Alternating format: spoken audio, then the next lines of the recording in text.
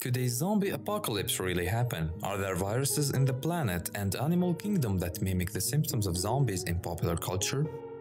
The Center for Disease Control and Prevention, the main national public health institute in the United States, has a zombie preparedness guide. When I first heard this, I was more than a little concerned. I always thought zombies were just a fun and wildly popular horror movie genre, but could a zombie apocalypse really happen?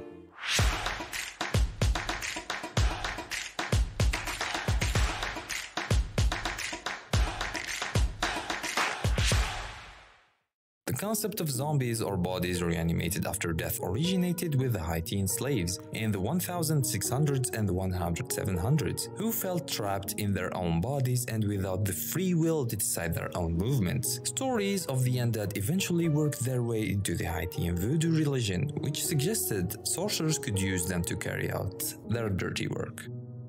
From the undead Haitian slaves of 400 years ago to the present day zombies popular in television and films, zombies usually share few common traits. They have no sense of right and wrong, no ability to plan, and no impulse control, all of which indicates a lack of a functioning frontal lobe of the brain. They do, however, still have basic motor control and are driven primarily by hunger. While there are no viruses that can cause neurons to fire in an already diseased brain and thus reanimate the corpse, there are infectious diseases that mimic some of the standard zombie characteristics. While a patient is still alive, in particular, a genre of viruses called neurotropic viruses attack our brain and can make us act strange or aggressive.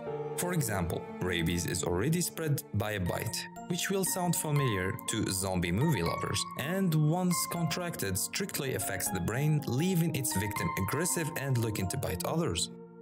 Another neurobehavioral disorder, Kluver-Bucy syndrome, has symptoms that include hyperorality, the urge to put inappropriate things in your mouth, an inability to recognize normal objects, dementia, and the tendency towards a confused, catatonic state while being prone to violent outbursts. Encephalitis, also called sleeping sickness, causes hallucinations and puts its sufferers into a catatonic state while making them prone to violent outbursts if roused. And while a real zombie virus does not currently exist, viruses do evolve. It is feasible that one could evolve, for example, if two viruses infect the same cell to cut off higher brain function and include starvation. Infectious disease can also have mutations just as our regular genetic, which can give the disease an advantage, but a virus evolving into something that can affect even a dead body remains science fiction. Whenever a new virus is introduced into a population where there are no immunity, I think of the measles and smallpox brought into America in the late 100s and 400s from Europe. The virus is incredibly efficient and claiming its victims. The good news is that since, at least according to lore, a zombie virus would not be transmitted through the air, there is a higher chance of containing it. In work presented at recent meeting of the American Physical Society, scientists used standard disease model to estimate the ideal escape during a zombie outbreak.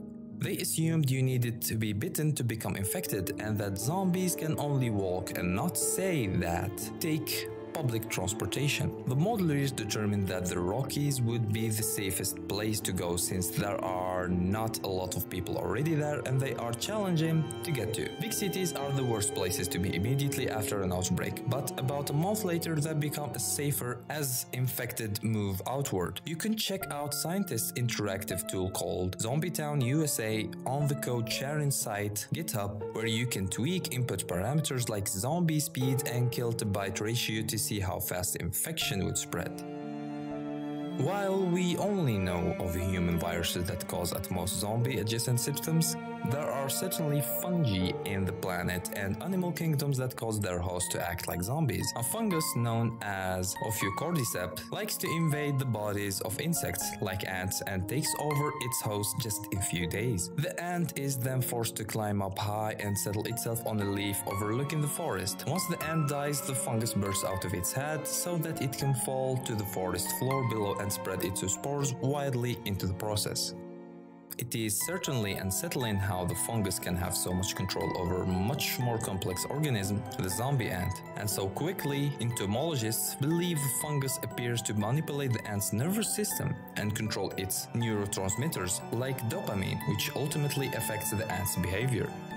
There is parasite wasp that lays its eggs into the bodies of the caterpillars after those eggs hatch. The wasp larvae eat the caterpillar body's fluids and then eventually eat their way out. Amazingly, the caterpillar doesn't die in the egg laying process and instead becomes a sort of zombie guard, warding off would-be so predators from the larvae.